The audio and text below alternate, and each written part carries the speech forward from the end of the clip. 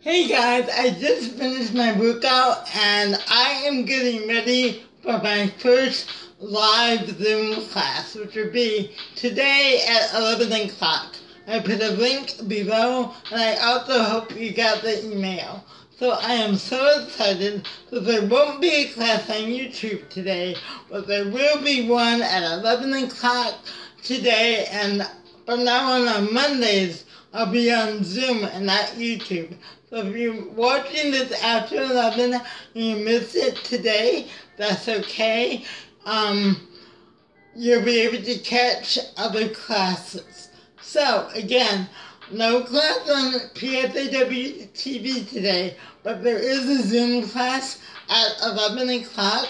There is a link below, and um, I also sent out a link in the email, and there's also information on our PASW Facebook pages.